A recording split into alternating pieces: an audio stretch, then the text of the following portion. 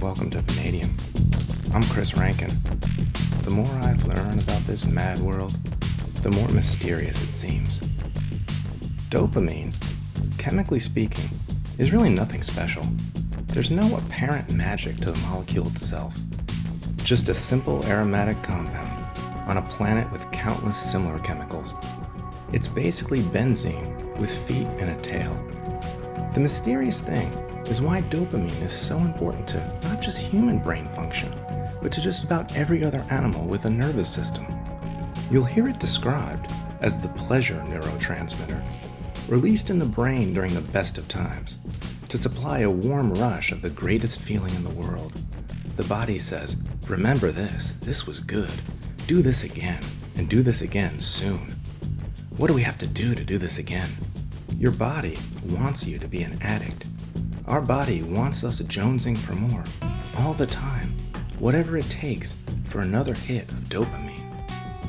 From cockroaches to aardvarks to the Queen of England, dopamine is at the heart of the biochemistry driving behavior. 3,4-dihydroxyphenethylamine, the chemical dopamine, emerged on the planet Earth as a neurotransmitter back in the earliest appearance of the nervous system in the Cambrian period over 500 million years ago. Dopamine functions as a neurotransmitter in vertebrates, arthropods, mollusks, and several types of worm. If this is true, why can't we just pull into the gas and sip and grab a dopamine loaded energy drink or a low carb snack bar? Well, it turns out the body has already figured out this trick and developed the blood brain barrier to filter out dopamine from food. Bananas, avocados, and chocolate are loaded with dopamine. But your body wants your brain to make it all by itself. All the banana splits in the world won't give you the real rush. Even a massive horse pill of dopamine itself won't make you feel the slightest less blue. No free lunch when it comes to biology. At least in this case, we've got to work for our dopamine. Human dopamine has to be homemade in the brain. The way it's made in the nervous system can vary a bit depending on the type of organism.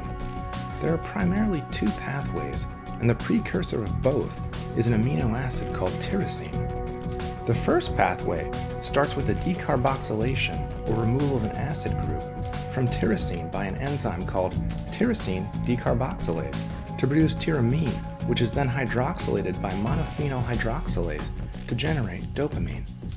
The second pathway starts with the hydroxylation of tyrosine by tyrosine hydroxylase to produce levodopa, which is then decarboxylated by dopa decarboxylase to produce dopamine. Anticipation of reward is what gets the process into gear. Many addictive drugs produce an increase in reward related dopamine activity. Stimulants such as nicotine, cocaine, and methamphetamine promote heightened levels of the stuff. This appears to be the primary factor in causing addiction. When people addicted to stimulants go through withdrawal, accompanied by reduced levels of dopamine, they experience craving, an intense desire for the drug characterized by irritability, restlessness, and other hyperarousal symptoms. More, more, more. Then, as soon as the brain finally gets some dopamine, the body is in a hurry to take it right away. It's almost as though nature doesn't want us to be happy all the time. Dopamine is quickly broken down into the inactive metabolites by a set of enzymes, monoamine oxidase, which is also found in the brain. Not only are we always chasing dopamine, if we get too low or even too high, very bad things can happen to the mind and the body. Parkinson's disease, restless leg syndrome, and attention deficit hyperactivity disorder, ADHD, are associated with low dopamine in the brain. Abnormalities in dopaminergic neurotransmission also occur in chronic pain conditions, including burning mouth syndrome and fibromyalgia. So if dopamine gets too low, we get pain and Parkinson's disease. What happens if the brain is just flooded with dopamine? It turns out the result is peculiar and very consistent among patients.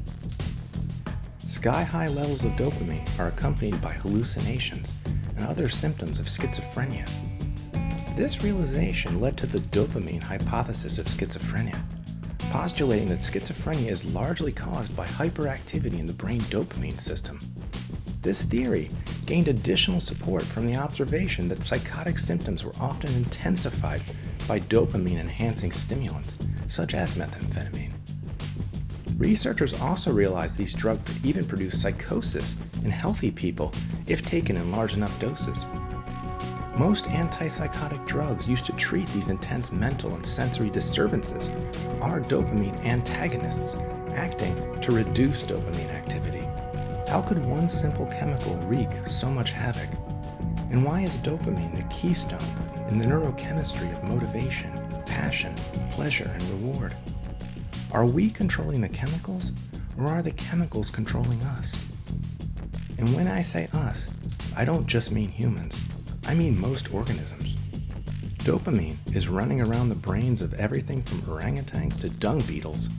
Mussels even create their own dopamine, but they use it to make glue to stick to rocks and boat hulls. Dopamine isn't the only chemical like this. There are a host of chemical compounds shared by diverse and disparate species. Sometimes different animals will use the same chemical for an entirely different biochemical task. Same building blocks, just with different builders. Thank you very much. This was Chris Rankin with Vanadium.